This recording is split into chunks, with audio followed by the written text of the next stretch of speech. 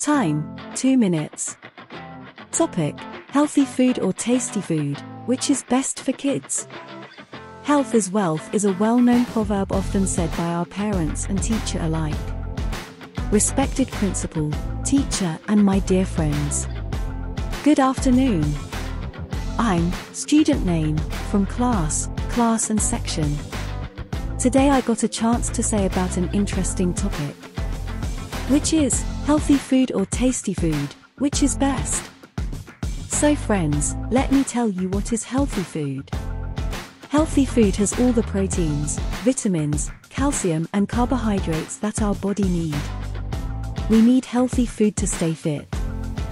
Furthermore, healthy food is also very delicious as opposed to popular thinking. If we talk about tasty food, healthy food is also tasty. So there is no need to think that junk food is only good in taste. In fact, healthy food like fruits and vegetables are more colorful and healthy for kids. It is a well-known English proverb that an apple a day keeps the doctor away. Nowadays, kids need to eat healthy food more than ever.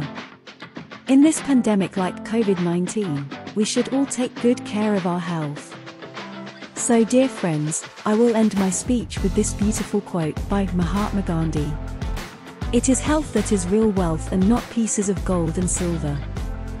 Thank you and God bless you.